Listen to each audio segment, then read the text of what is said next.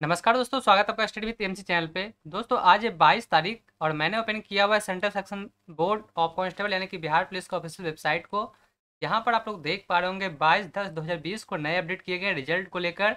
बिहार स्वाभिमान police battalion, जो कि महिला कॉन्स्टेबल के लिए निकाले गए थे भर्ती तो इसके रिज़ल्ट को जारी कर दिया गया। चलिए करते इस पी फ़ाइल को डाउनलोड और देखते क्या क्या डिटेल्स दिए हुए किन किन लोगों के रिज़ल्ट हुए हैं और फ़िज़िकल डेट क्या है।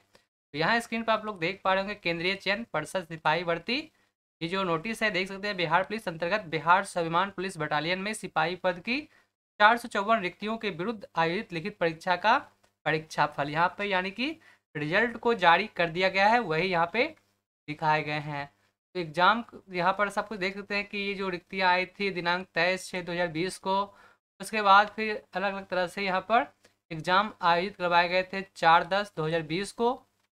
तो चलिए, अब जान लेते हैं कि इसके लिए फ़िज़िकल कब होंगे शारीरिक दक्षता परीक्षा कब होंगे।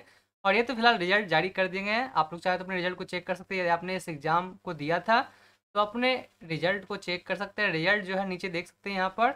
सभी का यहाँ पर रिज़ल्ट दिखाया गया है। वैसे तो आप लोग जानते हैं कि ये सभी के लिए, सभी महिलाओं के लिए नहीं थे। तो यहाँ पर आप लोग देख पा रहे होंगे, इस तरह से रिज़ल्ट दिखाया गया कि कितने लोगों के रिज़ल्ट हुए हैं। नीचे यहाँ देख पा रहे होंगे, बिहार स्वाभिमान पुलिस बटालियन सिपाही में चार सौ चौवन रिक्तियों के विरुद्ध यहाँ पर शारीरिक दक्षता के लिए पाँच गुना अभ्यर्थियों को सिलेक्ट किया गया, यानी कि बाईस अभ्यर्थियों को इसके लिए चुना गया है। और आप लोग जानते हैं कि इसमें फिफ्टी जो पद है वो बिहार के प्रशिक्षित गृह रक्षक एवं शेष फिफ्टी परसेंट पद जो है वह गैर गृह रक्षक से भरने का प्रावधान है। ये सब ठीक है, चलिए नीचे देखते हैं रिज़ल्ट तो यहाँ आप लोग देख पा रहे होंगे रिज़ल्ट इस तरह जारी किए गए यहाँ पर सभी के रोल नंबर दिखाए जा रहे हैं। तो आप अपने रोल नंबर को चेक कर सकते हैं। यदि आपने इसमें एग्ज़ाम दिया है तो अब बात आती है कि इसमें फ़िज़िकल कब होंगे? वो भी आपको दिखा देते हैं कि फ़िज़िकल आखिर कब होंगे। तो इसलिए चलते हैं नीचे और देखते हैं इसमें क्या क्या डिटेल्स और दिए हुए हैं। ये सभी लिस्ट है जो भी इसमें सेलेक्ट हुए हैं कैंडिडेट उनके ये सभी लिस्ट यहाँ पर आप लोग स्क्रीन पे देख पा रहे हैं। चलिए अब आते हैं नीचे और देखते हैं कि इसमें फ़िज़िकल डेट कब है। तो नीचे आते यहाँ पर आप लोग देख पा रहे होंगे स्क्रीन पे लिखित परीक्षा के आधार पर यहाँ पर पीईटी के लिए कब इसमें आयोजित कराए जाएँगे? तो पीईटी का आयोजन जो है, यह माह फरवरी 2021 के प्रथम सप्ताह में किया जाएगा। यानी कि 2021 फरवरी में जो प्रथम माह है, यानी कि प्रथम सप्ताह है, इस बीच इसको आयोजित करवाया जाएगा, जो कि आप लोग मुख्य समाचार पत्र के माध्यम से इसके बारे में जानकारी आपको मिलते रहेंगे और इनके ऑफिशियल वेबसाइट पर भी ये अपडेट करवा दिए जाएँगे।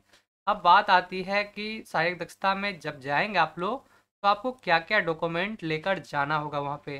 तो इसके लिए यहाँ पे सभी डिटेल्स दे दिए गए क्या क्या आपको लेकर जाना है, जैसे कि वैध फ़ोटो, फोटोयुक्त पहचान पत्र, जैसे कि आधार कार्ड हो गए, मतदाता पहचान पत्र, या फिर ड्राइविंग लाइसेंस, जो भी आपके पास फोटोयुक्त वाले पहचान पत्र है, उसे लेके जा सकते हैं।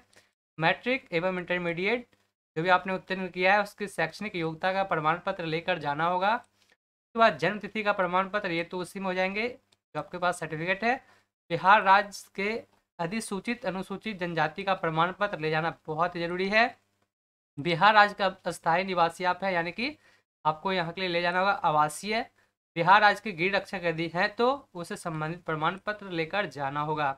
और यदि आपने वहाँ पे फॉर्म भरते समय चुना था कि आप स्वतंत्रता सेनानियों के किसी रिश्तेदार से हैं तो उसके लिए भी आपको संबंधित प्रमाण पत्र लेकर जाना होगा। इस तरह से वहाँ आपको सब कुछ लेकर जाना है और कुछ यहाँ पे नोटिस भी दिए गए हैं कि इस तरह से जो दलाल उनसे सावधान रहे, संदिग्ध से सावधान रहे, वो आपसे पैसे भी रख सकते हैं।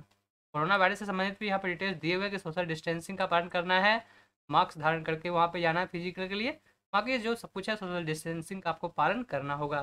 तो ये कुछ नोटिस जारी किए गए यदि आपके माइंड में कुछ अभी भी डाउट्स है तो आप लोग नीचे कमेंट करके पूछ सकते हैं। ये आज ही जारी किए गए रिज़ल्ट, नोटिस सब कुछ बाईस दस दो हज़ार बीस को। तो इसी तरह के लेटेस्ट अपडेट सबसे पहले पाने के लिए चैनल से जुड़े रहें, ताकि जो भी नए अपडेट आए, इसकी सूचना आपको सबसे पहले चैनल के माध्यम से मिलती रहे। बाकी मैं मिलता आपसे एक और नए वीडियो के साथ, तब तक के लिए धन्यवाद, आपका दिन शुभ हो।